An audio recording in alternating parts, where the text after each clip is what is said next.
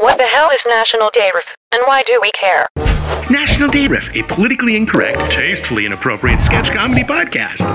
Every day in the US, there is something to celebrate, and it's our job to poke fun at it. For example, sneak some zucchini into your neighbor's porch day.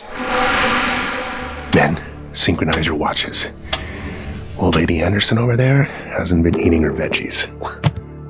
Are you serious? Veggies are good for you. Indeed, they are, son. Or senior citizens, Spumoni, Brazilian Blowout, and Congressional Startup Day. How about a triple scoop of our new flavor, Brazilian Blowout? Brazilian blowjob! And of course, Fluffer Nutter, Pierogi, and American Touch Tag Day. Did you order a piping hot, steaming, super juicy, extra large, organic, free range pepperoni from Rub Hub? Now, come on. Yeah. In the fluffer nutter to Mr. Hauser's trailer on the double? Oh, well, Brick wasn't able to take care of his uh, contractual obligations with the bisexual monkey. Sean, a fluffernutter is a sandwich with marshmallow, cream, and peanut butter. So Ugh, that's disgusting. We even made a musical. strong and short with a full head of hair. He just loves it when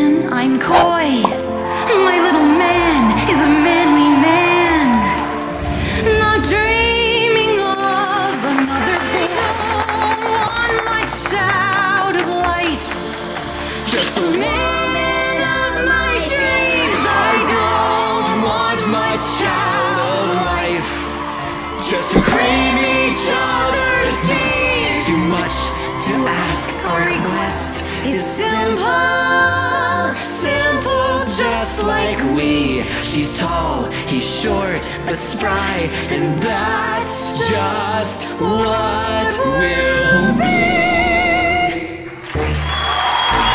National Day Riff is available wherever you get your podcast fix. Subscribe today, laugh tomorrow.